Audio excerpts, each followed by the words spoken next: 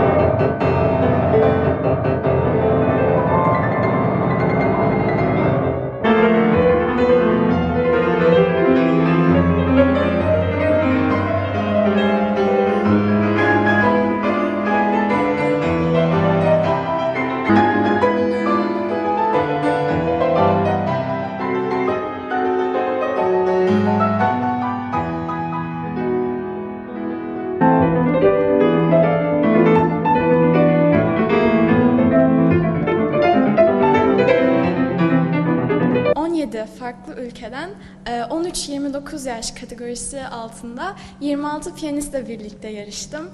Ee, Benim için çok mutluluk verici ve heyecanlı e, bir süreç oldu. Çünkü finale kazanabilen, finali kazanabilen 4 kişiden biri oldum ve 16. düzenlenen bu yarışmanın şu ana kadar e, finali kazanabilen en genç e, piyanisti oldum. Ee, Çok mutluyum gerçekten. Emeklerimin karşılığını aldığım için de çok gururluyum. Ee, Tabii ki de piyanist olmak, e, bir sanatçı olabilmek çok zor. Ee, Ve benim hayalimin de çok zorlu bir hayal olduğunu da biliyorum.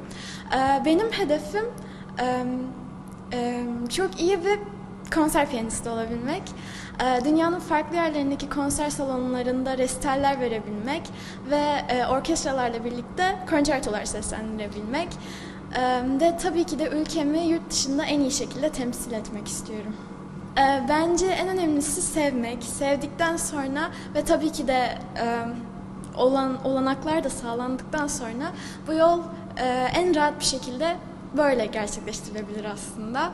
E, Ama tabii ki de en önemli olan şey sevmek ve çalışmak, verimli çalışmak. E, 16. düzenlenen Uluslararası Piyano yarışması ve festivalinde e, çok iyi hocalar, profesörlerle birlikte masterclasslar yapabilme şansı ve olanağı buldum. E, Almanya Hannover Müzik Lisesi, e, aynı zamanda Avusturya Graz Üniversitesi'nde eğitim veren e, profesörler beni kendi sınıflarına davet etti ve bunun için de çok mutlu ve gururluyum. Aynı zamanda e, bu yarışmadaki kazandığım e, ödül kapsamında e, 2024 yılında olacak Piyanelle Festivali'ne ücretsiz bir şekilde davet edildim.